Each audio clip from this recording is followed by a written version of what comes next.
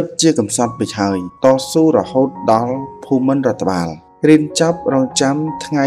ចេញចាប់ប៉ុស្ឥឡូវបាត់បង់ជីវិតទៅហើយ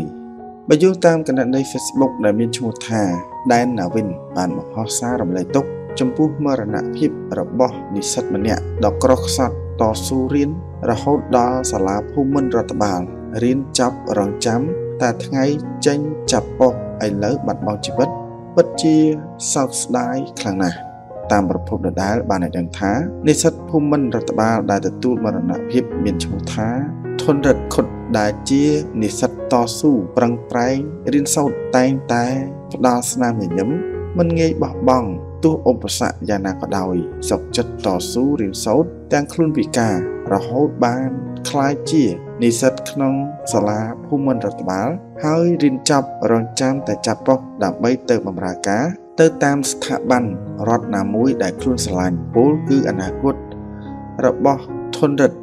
នៅតែបន្តិចទៀតនឹងក្លាយជាមន្ត្រីបម្រើប្រជាជន និងប្រទេសជាតិមិនខាន តែមិនគូរូបលោកជួបគ្រោះអកុសល បាត់បង់អាយុជីវិតដោយសារគាំងបេះដូងទាំងវ័យក្មេងពោពេញដោយសមត្ថភាពបែបនេះទេ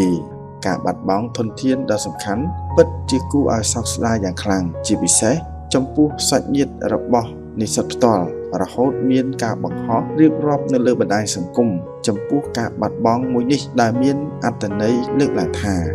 ប្អូនទទួលយកមិនបានទេបងប្រុសអើយបងប្រុសធ្លាប់ប្រដៅប្អូនឲ្យខំរៀនតស៊ូតែចាប់ពីថ្ងៃនឹងទៅប្អូនលែងបានលឺបងទៀតហើយសូមបងទៅបានសុខណា